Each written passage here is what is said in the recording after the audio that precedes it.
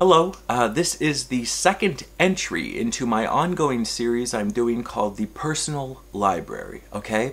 Uh, this is a series of videos where I will be looking at not only books that I really love, but books that will carry me through the rest of my life. Uh, books that, in one form or another, will remain on my shelves as, as a permanent part of my own personal library, uh, you know, till the end of my days, okay? And uh, in the first episode, I was exploring the, the Blue Ridge Mountains of, of Annie Dillard's nature memoir, uh, Pilgrim at Tinker Creek. And today we're, we're uh, moving on to uh, fiction, and uh, we're jumping over the Atlantic straight into the Mediterranean Sea and washing up on the shores of Egypt uh, as we talk about, let's see if I can get them, the Alexandria Quartet by Lawrence Durrell. Uh, these are, are four novels published between uh, 1957 and 1960. Uh, and the quartet is a work of fiction, though certainly contains heavy elements of travel memoir, as Lawrence Durrell um, wonderfully and exhaustively uh, explores the city of Alexandria, uh, as well as a handful of its inhabitants, um, within the years preceding World War II, Durrell himself described the Alexandria Quartet as an investigation of modern love.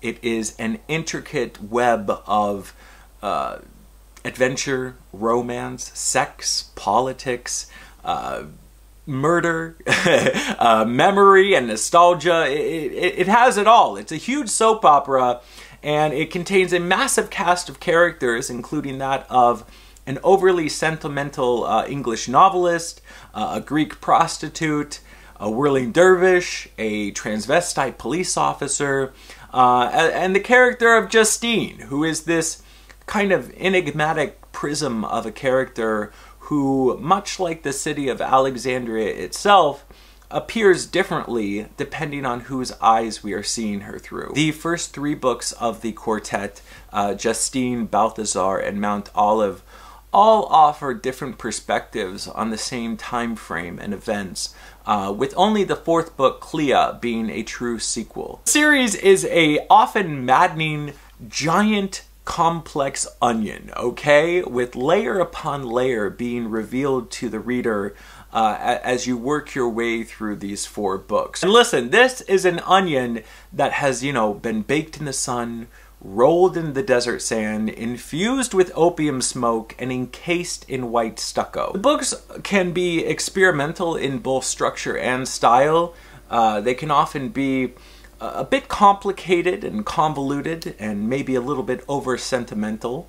Um, but all those traits are tethered down by the most important character within all the novel, which is the city of Alexandria itself. I'll give you a, a short excerpt. Uh, this is from uh, Mountolive, the, the third uh, book in the series, also my favorite.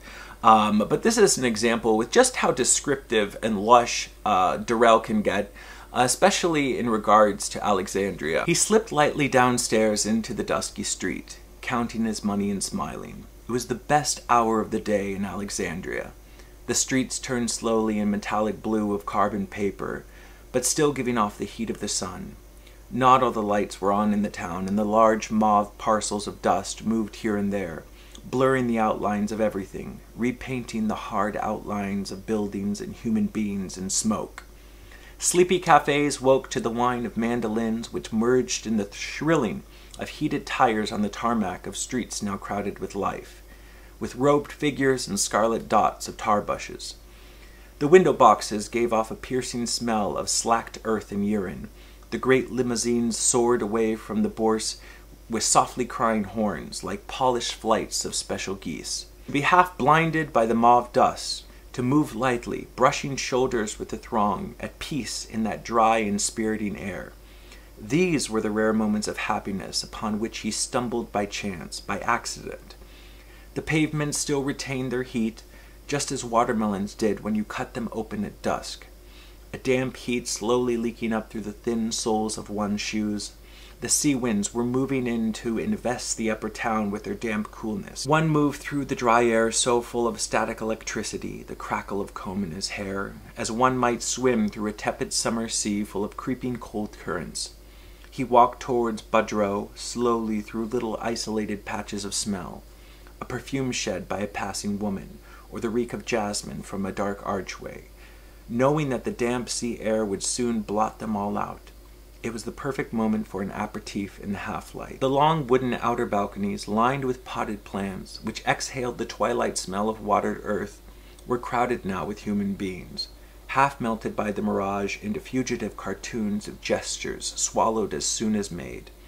The colored awnings trembled faintly above the blue veils which shifted uneasily in the darkening alleys, like the very nerves of the lovers themselves who hovered there, busy on the assignations, their gestures twinkling like butterflies, full of the evening promises of Alexandria. Soon the mist would vanish, and the lights would blaze up on cutlery and white cloth, on earrings and flashing jewelry, on sleek oiled heads and smiles made brilliant by their darkness, brown skin slashed by white teeth.